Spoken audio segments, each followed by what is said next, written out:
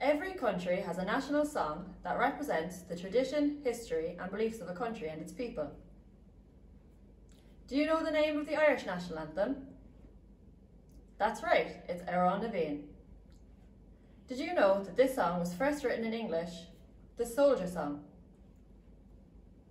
Written by Peadar Kearney when Ireland was ruled by England. Later, after Irish independence, this song was translated into Irish. We hear the song played at sporting events all over Ireland, especially at GAA matches.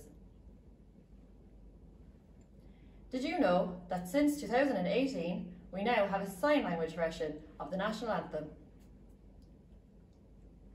This version is a combination of both the English and Irish versions, but with its own interpretation and signs. Irish Sign Language, ISL, is Ireland's third official language after English and Irish.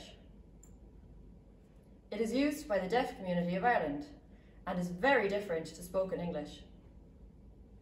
It is a visual language that has its own structure, hand shapes, body language, movement and facial expressions.